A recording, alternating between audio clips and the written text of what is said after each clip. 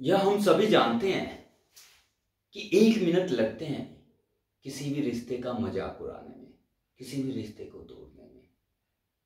और हमारी सारी उम्र बीत जाती है उस रिश्ते को बनाने में, चाहे वो रिश्ता हो दोस्त का, चाहे वो रिश्ता हो माता पिता का, चाहे वो रिश्ता हो भाई बहन का, चाहे वो रिश्ता हो पति और पत्नी का। सो यारो, कोई टूटे तो उसे सजाना सीखो। कोई टूटे तो उसे सजाना सीखो। कोई रूठे तो उसे मनाना सीखो। कोई रूठे तो उसे मनाना सीखो। क्योंकि रिश्ते सिर्फ़ मिलते हैं मुकद्दर से। रिश्ते सिर्फ़ निकलते हैं मुकद्दर से।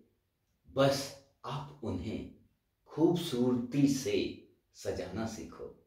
बस आप उन्हें खूबसूरती से सजाना सीखो।